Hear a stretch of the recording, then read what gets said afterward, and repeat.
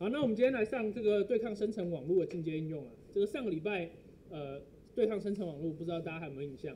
大家对它印象就是非常的难 training，对不对？就是呃，超参数很难调整啊，必须调的刚刚好，它才动得起来。啊，如果而且而且那些超参数还跟 default 值不一样，所以这就显得这个 model 很难 training 嘛，对不对？好，那我们来想一下，当初我们要训练一个很深很深的网络的时候，我们是不是有用这个就是 residual learning 来解决啊？实际上中间有经过很多过程哦，不是一上来我们就发现 residual learning 可以解决梯度消失问题哦。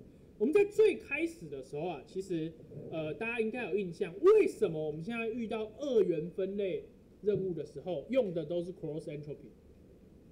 因为它的分母是 p，它的导函数的分母是 p 乘以一减 p，啊什么函数的什么函数我 p 乘以一减 p 的这个导函数，sigmoid 的函数我 p 乘以一减 p 的导函数，对不对？所以他们两者约分约完了以后，这个导函数就会这个为这个导函数就会变得比较平滑，就比较不会有安点。所以这是为什么我们在二元分类任务的时候，主要都使用 cross entropy 当做损失函数的主因哦。我先大家有没有对这件事情有一些基本的概念呢？如果没有的话，我们后面很难讲哦。露出了可爱的微笑啊！但至少你们都知道，好像二元分类任务损失函数就是用 cross entropy 嘛，对不对？没有任何人有疑问嘛，对不对？原因忘记了，但实际上结果就是这样。好，但是啊，这个我们现在在 training 的时候，我不确定大家还记不记得上节课的结果。我们来看上节课，我们 training 的时候会发生什么事情啊？好，这是上一节课 training 的结果。然后 generation 完全 generator 完全被这个 discriminator 碾压了，对不对？那你们有办法仔细看 discriminator，它的损失看起来都在零附近震荡，对不对？所以这代表什么意思？这代表是 discriminator 它其实没有梯度了，这样可以吗？它其实没有梯度了，因为它已经它的损失已经接近零了嘛，对不对？好。那它如果没有梯度的时候，它会它会更新吗？它就不会更新了嘛，对不对？可以理解吧？哎，可是那你这个时候想说，discriminator 不会更新，这是一件好事啊，因为我现在被我的 generator 我的图片生成器被 discriminator 给碾压了嘛，对不对？所以我这个时候要更新的是更新 generator，对不对？那红色的会更新呢，蓝色跟绿色不会更新啊，这样不是很好吗？看起来是这样，对不对？可是你们还记不记得，梯度不只会消失，梯度还会爆炸。学习率是不是太低不好，太高也不好？你们有记得这件事情吗？所以说啊，这个 generator 啊，你千万不要以为它的损失上去了，它就可以优化了。实际上是不行的。最好最好的状况还是他们这些线重合在一起，这样它 training 起来才才是稳定的状态。如果你们仔细想一下上个礼拜的结果，你们会发现上礼拜在前的 training 是不是在前五个 epoch，它是不是看起来学的不错啊？后面就不太学了。你们记住？你们仔细，你们有发现这件事情吗？他们一开始会很快的，然后看起来画到差不多的图，然后后面都不太动。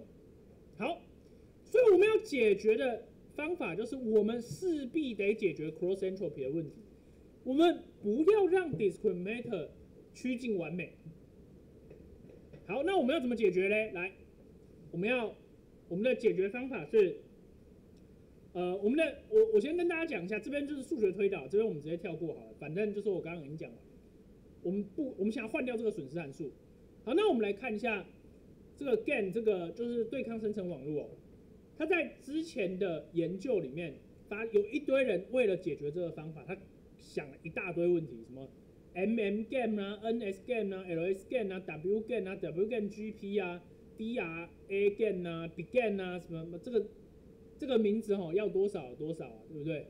你们如果愿意的话，你们换一个损失函数，你们也可以叫一个什么呃这边年纪最大师伯嘛，对不对？师伯 game 啊，对不对？有没有觉得很有趣的感觉？好，那实际上那么多 game 啊。到我们如果仔细看这个，就是它的评分的话，这个评分数字越低，代表它越准。你会发现最好的 model 似乎是 W GAN，跟 WGAN-GP 这两个方法，我们现在就来介绍一下，到底这两个方法就是 WGAN 它到底是怎么做的。好，WGAN 怎么做呢？来仔细看它的损失函数，它损失函数被改了。本来我们的 discriminator 它的输出是一个零到一之间的几率，对不对？那一就代表他认为这是真样本，这是真的图；零就代表它是这个假的图，这样可以吗？这是 discriminator 本来的输出嘛，对不对？首先，他先把他先把 discriminator 的输出改成负无限大到正无限大，也就是他不要 sigmoid 的函数了，他直接把输出改成负无限大到正无限大，正正数代表他认为这是一个真实样本，负数代表他认为这是一个 fake image，这样可以了解我意思吗？好，可是你把损失改成了，哎，你把预测改成了线性预测以后，下一个问题就是，那我要改损失，它的损失改成了这个样子，你仔细看哦，y 等于零的时候代表什么意思？这是 fake image，对不对？y 等于零代表这是 fake image，那这一项剩什么？剩下 x 对不对？y 等于零的时候，这个是不是剩 x？然后它是希望 x 越小越好，对不对？所以当 y 等于零的时候，它希望 x 越小越好，最好小到负无限大，这样可以接受吗？这个损失函数的意思，这样大家有看懂？那 y 等于一的时候呢？那是不是剩下负 x？y 等于一的时候，这里串成负 x 嘛？那他希望负 x 越小越好，最好小到负无限大，所以他是不是就希望 x 越大越好？最好是正无限大，可以理解我意思吗？好，所以说他做了这一个，就是他做了这一个操作。那除此之外，他还做了一个很神奇的操作，就是他把 discriminator，他指定 discriminator 的 weight，它不能超过零点一，就是 discriminator 它的它的那个它在梯度下降的过程中，它是不是会有那个？呃，就是它优化它的权重嘛，对不对？它的权重的所有数值都不能超过零点一。那这样子的一个组合就是 W game。那这个 W game 为什么会设计成这个样子？当然有它的数学推导了。不过这边我们就直接跳过哈，我们就直接来试试看它的效果有多好。啊，我们最重要除了试它的效果以外，上个礼拜我们觉得原版的 game 烂在哪里？超参数不好调，对不对？所以这一版的 gain 我们要故意调它的超参数，看它会不会更 robust 一点。好，我们来试一下哦。好，首先跟上个礼拜一样哦，我们一样先把档案给读进来啊。这个就是档案读进来之后写出这个，这个没有什么了不起。好，接着我们来直接做我们的 conditional gain。这是 conditional gain 哦。啊，今天是第几课啊？十一课。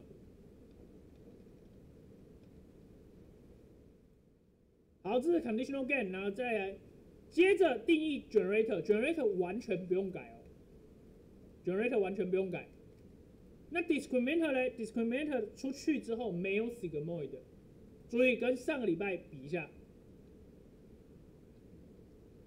上礼拜的这里是一个 sigmoid，对不对？这个礼拜到这里就没有了，没有 sigmoid，所以它输出是负无限大到正无限大之间，这样可以吗？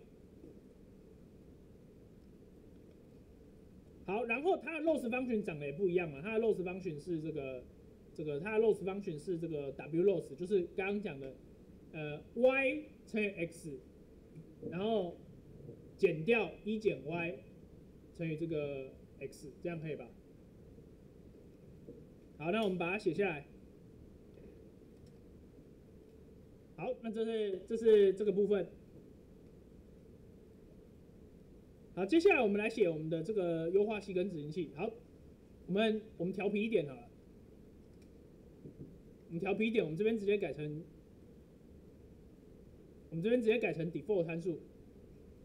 照道理来讲，这样应该劝不动了。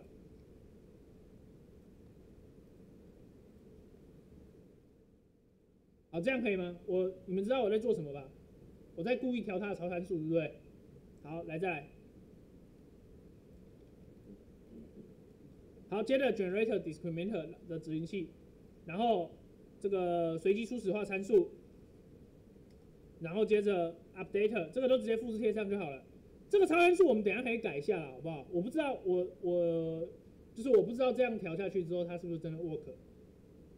搞不好，搞不好还是不 work，但是我们就试一下，不然我跑一个这个跟上课贴的完全一样的，这样就没有意思了嘛，对不对？好，来，我这边复制贴上之后啊，大家要注意一个事情哦，大家要注意一个事情，就是，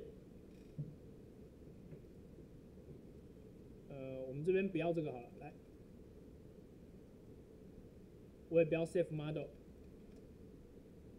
好，大家注意这个呃，哎，截断，啊，这里这一段这一段这段在做什么呢？我在仔细，我在把所有的这个 discriminator 的 weight 给它找出来。如果它超过这个数值，它大于零点一或者是小于零点负零点一的时候，我就把它改成那个数字，这样可以了解我的意思吗？就是这里我给它设了一个限制嘛，对不对？好。那我就要开始执行了。我们来看一下它它做可不可以？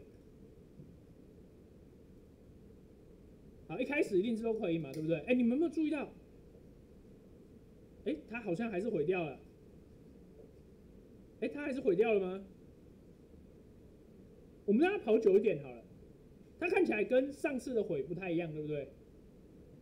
你们还记不记得之前它毁掉是怎么样的毁法？是直接变成完全。无序的图，对不对？可是你们有没有注意到一件事情？即使我刚刚超参数乱调一通，它看起来还有点像数字哎。所以这个有没有很厉害啊？你们觉得这个像一吗？这个像三吗？有点像，对不对？它跟上礼拜那个状况完全不一样。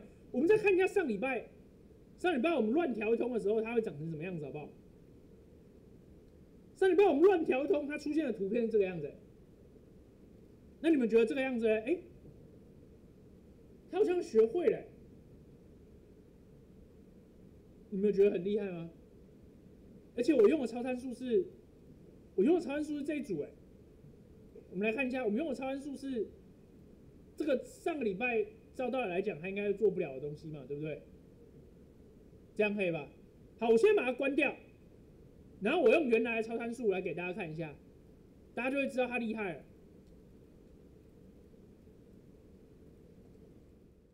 这个就是我好好调超参数嘛，对不对？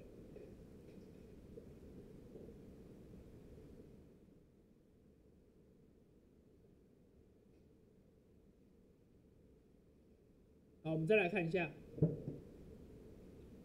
好，有没有慢慢有没有慢慢那个数字浮现的感觉？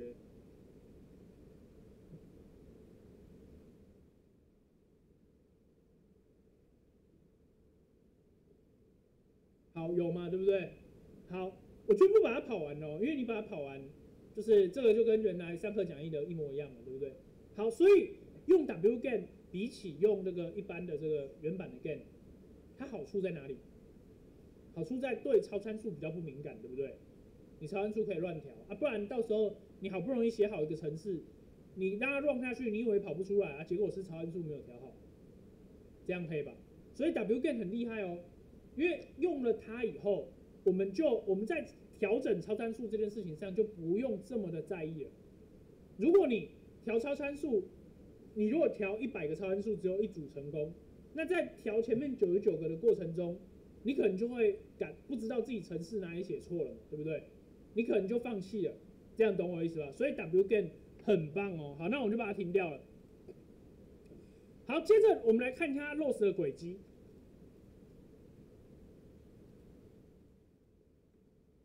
好，你仔细看它 loss 的轨迹，最开始的时候，generator 还是被 discriminator 碾压，可是后来他们是不是合并了？他们是不是在附近了？如果你看长点的话，它会长这样。他们一直都是 compatible 的，这样可以吼。好，所以这就是为什么这是 wgen 它厉害的地方啊。你如果要你如果要生成这个图片的话，你可以直接下载这个 model 了。不过我是觉得呃不需要特别去尝试这件事情。除非我们练习题有做好，我们练习题没有。好，所以说我今天这一节就是我今天第一小节，哎，前面跟大家介绍 wgen，我想要跟他强调的是，透过后面的人的努力，改进了原版的 gen，它主要就改了损失函数，跟他把 discriminator 的这个权重不能让它超过零点一，对不对？你看它就只改了这两个地方，结果它就 work 了。即使你换了超参数，它一样可以 workable。所以我们的练习一啊，给大家尝试一下，我们再给大家换改成实现 LSGAN LSGAN 跟 LSGAN 跟这个就是跟这个 WGAN，它唯一的差别只有损失函数改成 x 减掉 y 平方。本来这里是本来这里是 WGAN 的 loss，对不对？请你把它改成这个，请你把它改成这个，然后你改改超参数，看看它是不是真的那么 robust。这样听懂我的意思吗？你说我再让大家跑一下啊，我我先跟大家讲啊，这个呃时间有限，因为等一下我们后面要讲的 cycle gain 啊，它非常的难，然后我觉得是非常大的创意，一定要讲。所以说我们给大家练习，呃，我们给大家练习十分钟就好了，你们把前面的这些语法贴一贴。让它开始跑起来，调一调超参数，发现它不会爆掉，这样就可以了。好，我们把时间给你。好，那实现 LSGAN 这个部分我就不特别教大家了，好不好？我们来，我们今天来上我们本日的重点。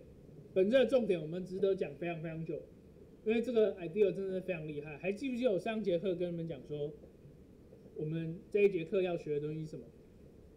假设我们现在想要。做中文跟英文的翻译，你给我一堆中文，这样给我一堆英文，这样我就翻得了，不需要一对一的 data。所以这件事情很神奇哦。我们来看一下它最后它实际上是怎么做出来的。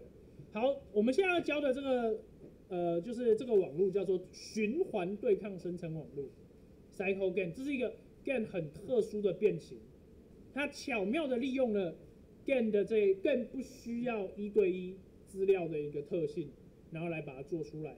好，第一篇 paper 是这个啦，我们再看一下这篇 paper 它到底被 cite 几次好了。这篇 paper 我自己是觉得它非常了不起啦。哦，两万，两万也不算，也不也算还可以了，对不对？好，我们来看它到底怎么做的哦。好，来仔细看哦。我们现在假设你想要做一个，你想要手画一只猫，然后你就输出这张图，你觉得？最合理的收集资料的方法是什么？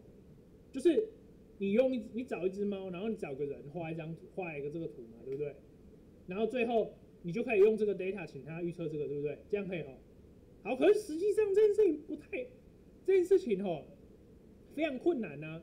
来，我们来看一下，我们有一些 data，比如说鞋子，然后手绘的鞋子，你跟真实的鞋子，也许你可以拿到一对一配的 data。也许你可以拿得到，可是有的时候，哎，举例说这个是莫内的画，莫内是谁？你们认识吗？这边有没有人没有听过莫内的？没有人敢举手。来，这个莫内，王师傅，莫内是哪里人？啊，不知道，有没有人知道莫内是哪里人的？学秋，你知道吗？你听过？哎，我其实也不是很记得，是不是维也纳人？我们来查一下好了，免得丢脸。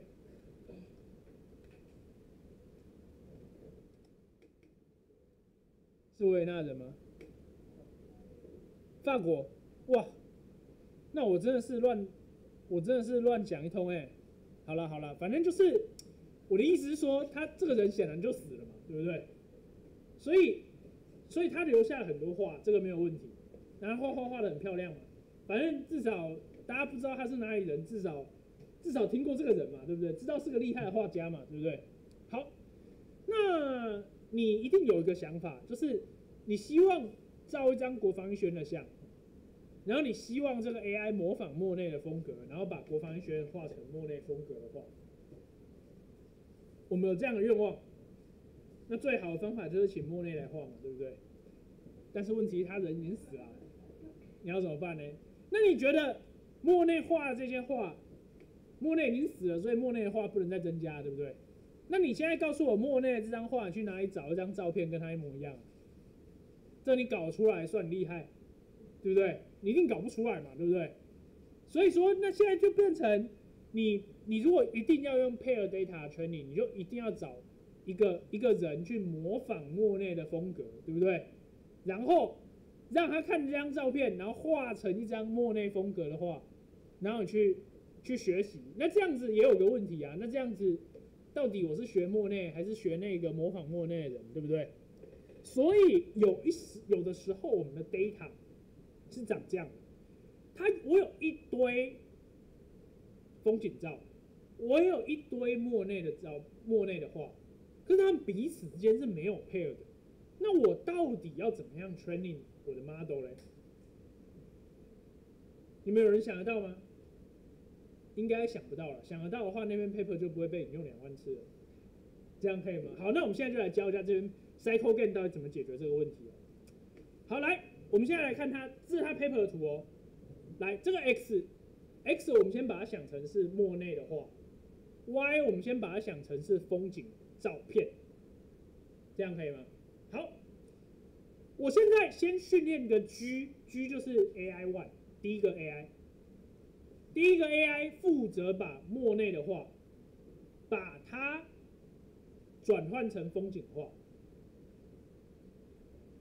那我没有 data，我要怎么 training 它嘞？哎，我可以给它一个 discriminator，这 discriminator 可以去区分这是真的风景画、风景照片。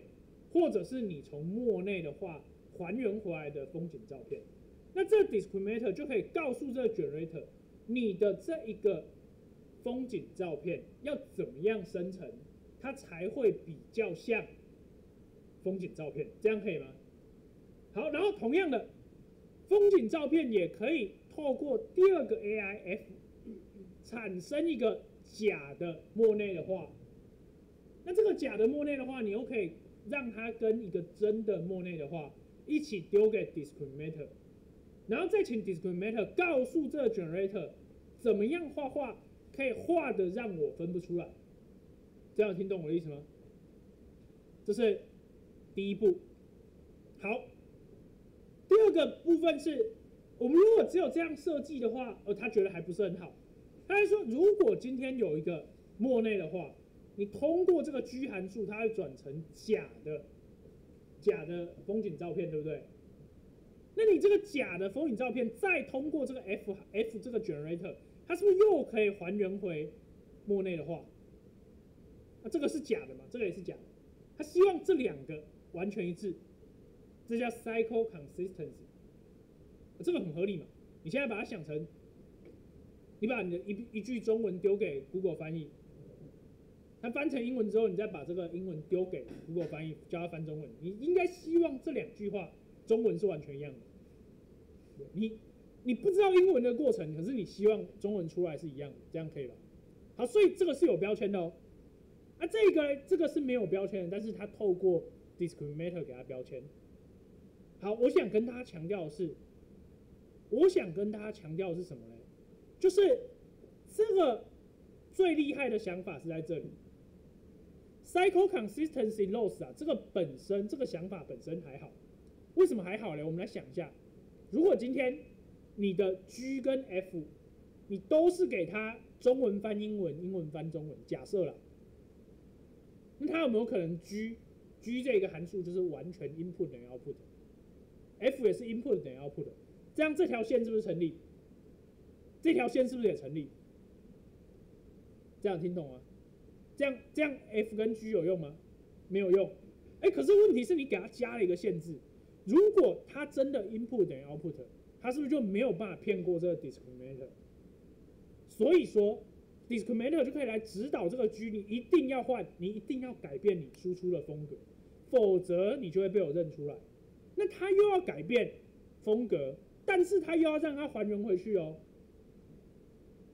所以他又不能够自己产生一个乱码。说，哎，那我就让你看不懂，我就让你看分辨不出来而已。它又必须要还原的回去，所以它整个图片的什么构型啊，什么就会完全一样。这样懂我意思吗？好，来，这个就是 con cycle consistency loss 啊，它这个是用什么 L one L one loss 就是用绝对值啊，L two loss 就是用那个平方平方啊，这个其实没有那么重要。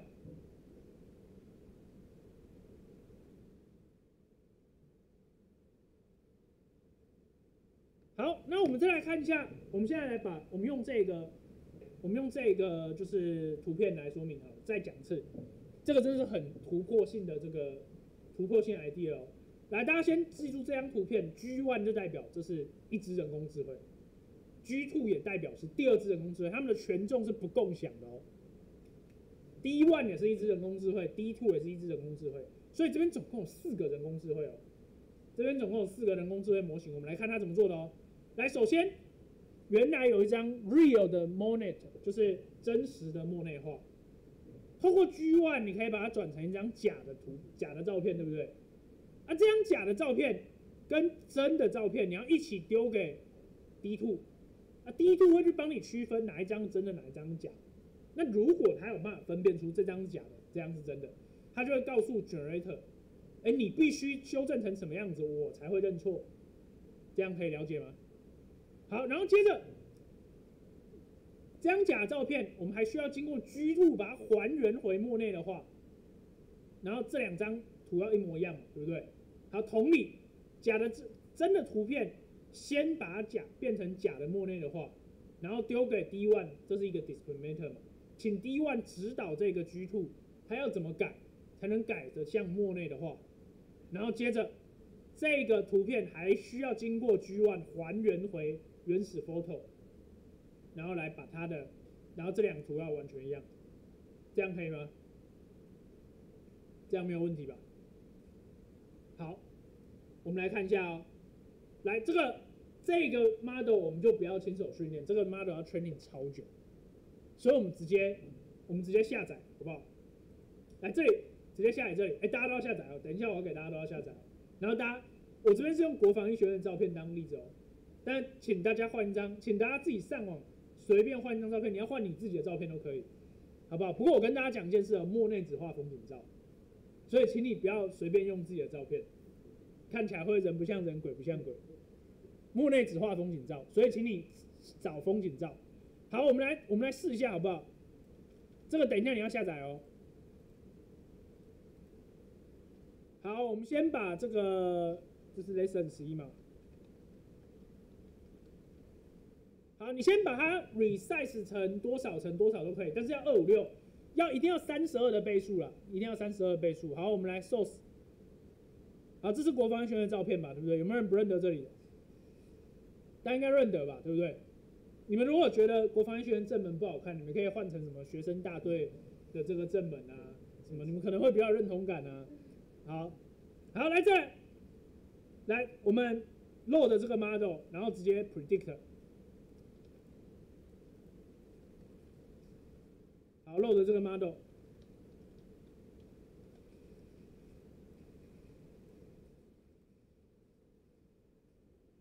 好，这看起来好像莫内画吗？你们怎么笑的这么诡异？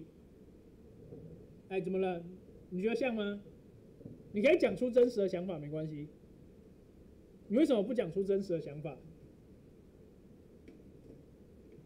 你们是不是觉得有点紫紫的？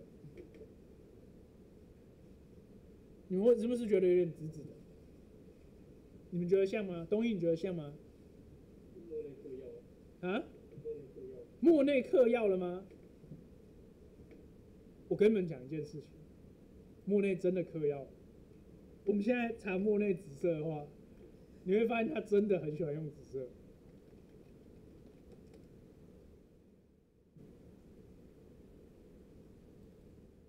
你们看到了吗？你们不要以为这是他是真的模仿的很好哦。来，紫色来，紫色。哎，紫色在哪里？莫内晚年很喜欢用紫红橙的色调，为什么嘞？因为他完成矫正白内障手术之后啊，他的右眼可以看到紫，就是他的右眼可以看到紫蓝色，但左眼不行。所以他画出来的色调就是这个样子，所以我跟你们讲，就是他真的不是，他真的模仿的非常好。虽然他的颜色换掉了，那除你不除非你就不喜欢莫内的风格啊？你看果真啊，这个大家这个对艺术的鉴赏力就是有限的。秋秋，你有没有看过莫内画？没有，缺少那个细胞。好，等一下，我们在我们给大家做实验以前，大家等一下可以试着用这个，就是这个 P2M model 尝试啊。可是我要来大来给大家做一个事情，我们有没有觉得颜色被换掉了不爽？有吗？现在话讲不下去，因为我们都查到莫内就是这样画，对不对？好像你把你把颜色调回来，这个好像就不是莫内了，对不对？我们来看一下要怎么不换颜色。来，不换颜色可以这样换哦。来，再看，这是我们原版的架构，对不对？仔细看哦，来，这是真的莫内画，对不对？那这个 G two 是干嘛的？G two 是图 photo 转莫内，对不对？那如果它本来就是一张莫内的画嘞，然后你丢给一个 photo 转莫内的，那你希望这两张图完全一样？那这样子它的颜色就不会换呢？因为这个 G two 刚刚除了它要跟 G one 合作以外，它还要骗过 discriminator 外，它现在又多了一个任务。如果他发现这张图就是莫内的话，那他请他什么都不要改变，请他完全不要改变，这样他就不会改颜色啦，因为他被这里限制住了，这样可以吗？同样的，G one 是做什么的？莫内改 photo，对不对？那如果你今天丢了一张 photo，请他不要改颜色，请他 input 等于 output，这边有个 identity mapping loss，透过这种方式 training 出来的 model。来，请你下载 G two，转换出来就长这样。我们来尝试一下好不好？我们这边改 V two 嘛，哎，效果怎么样？好，我们继续来看一下。如果因为现在颜色已经不会换了，现在颜色已经不会换，所以说如果你嫌这样子的风格不够强烈，你可以再把原来的图再莫内的图再经过一次。再转换一次，它是不是又更更像图片一点？再转换一次，啊，再转换一次好了，再转换一次，呃，越来越印象化，越越来越越来越这个越来越看不出来了。我现在也不知道看不出来是厉害还是不厉害，对不对？你画家如果画的跟这个照相机一样，好像就失去了它的这个存在价值了嘛，对不对？好。所以到这里为止啊，我们先暂停一下，我们给大家玩一下这两个 model 换换图片，好不好？好，那我们来我们来这个我们来继续来这个做这个呃，就是循环对象生成网络的 iterator。好，这个 iterator 很特别哦，就是它每一次 iterator 都会输出一张 value，这里它都会输出一张默内的话。并且输出一张这个就是真实的照片，这样可以哦。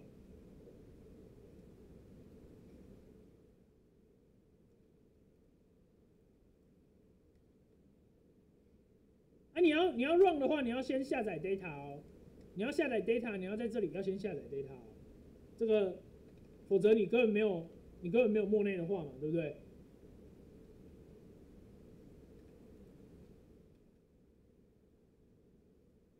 好，然后接着再来这里。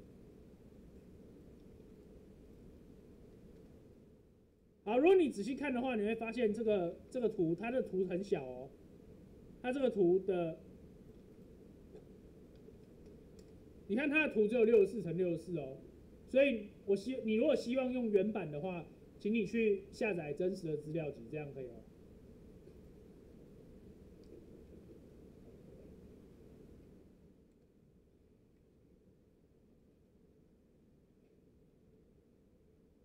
好，我们来 show image 好了。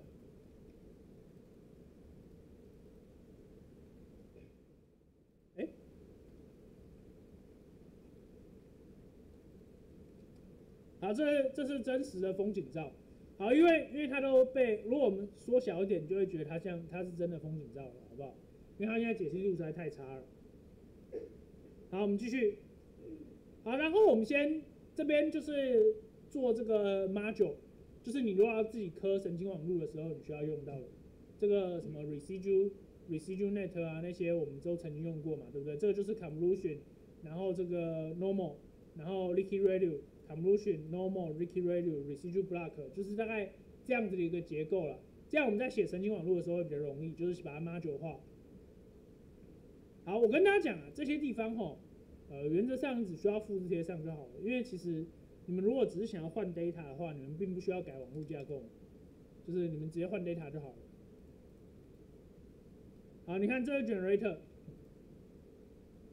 好，这个 discriminator，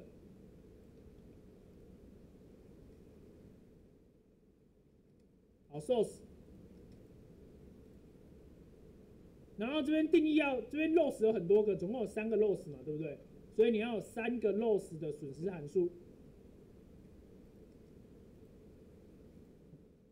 好，然后接着产生这个就是那个就是 MXNet 的网络架构，直接做就可以了。然后还有损失哦。哎，哦，这边少了一个 R 一，好，来再来。好，做完了以后啊，你看总共执行器要多少个？一个、两个、三个、四个、五个、六个。为什么要六个？因为如果仔细看前面的那个前面的课程，看这张图，一个、两个、三个、四个，总共有四个，对不对？然后，所以总共有四个 AI 嘛，对不对？然后还有这个这四个 AI，还有这个要损失函数需要用。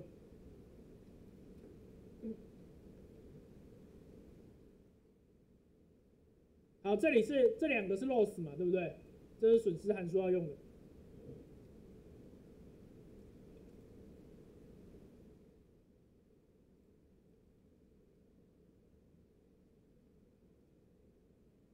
好，然后这个是随机初始化参数，然后并且填入。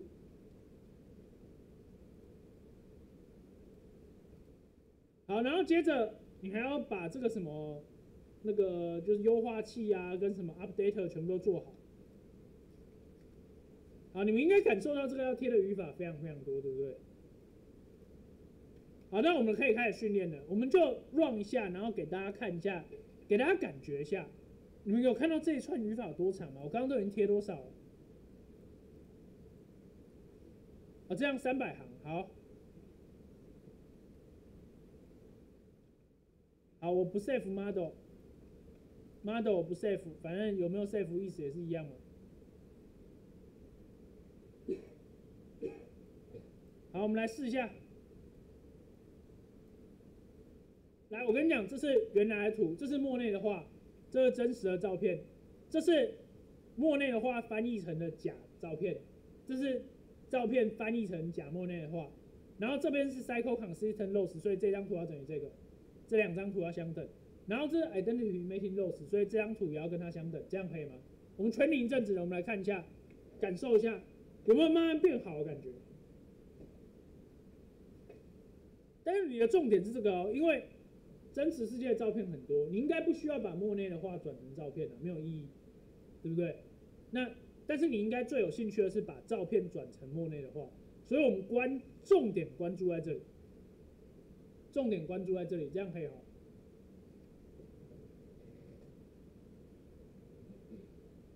不过这个解析度有点差了，所以你会觉得好像效果不明显这样子。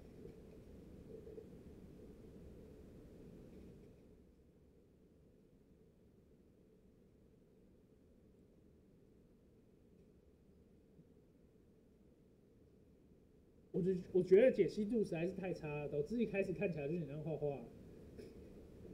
啊，不过这整个原理你可能了解了，啊，语法我也给了，啊，你那个你可以尝试用比较高解析度的图来 run，然后不要用就是呃你回去你就可以用 GPU 了，不见得要用 CPU 这样子。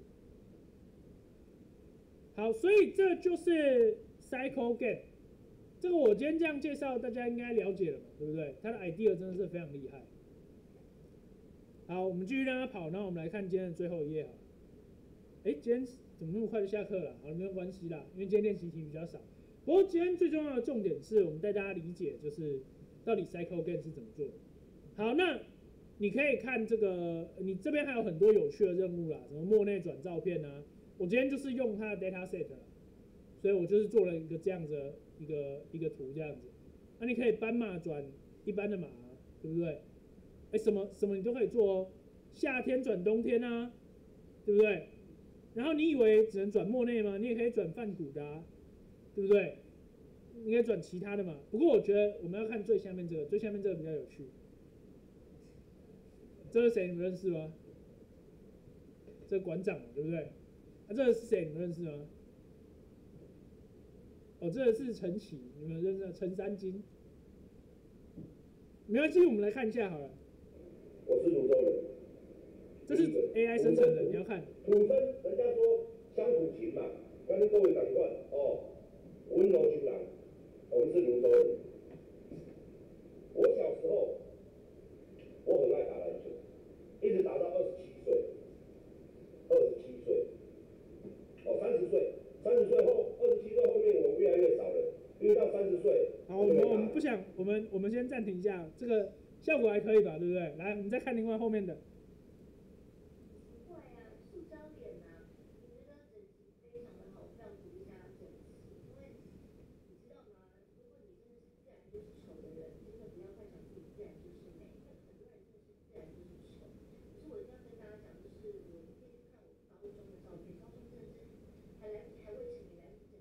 他讲了吗？有一些是我同学，他们是从我小学，然后国中、高中那一路跟着我一起长大的朋友，你们仔细注意看，他那个嘴型什么都是对的哦。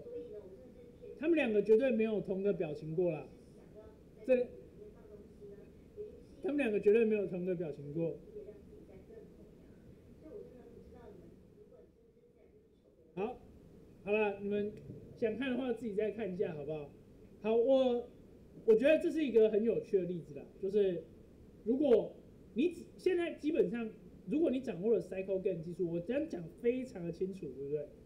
基本上你应该是可以重重现这整个过程。你只需要有任何一个人的一小段影片，加上你的影片，那你们就可以 training，然后你就可以把你的影片换成他的影片。对不对？你们有没有想要换一个什么局长的影片啊？对不对？然后以局长的角度来说一下，哦，这个学校的规定应该怎么改，怎么改，对不对？你们觉得怎么样？不太敢搞。好，没关系啊。这个就是，所以现在，呃，现在有图不见得有真相，有影片都不见得有真相啊，对不对？像这是因为我们的那个，我今天给你们的这个语法范例呀、我参数可能还没有，我参数可能还是乱调一通啊，对不对？没有好好认真调啊。你看如果认真调的话，这个细节就不会这么差了嘛，对不对？解析度可能还不够啊，所以看起来还不够像，对不对？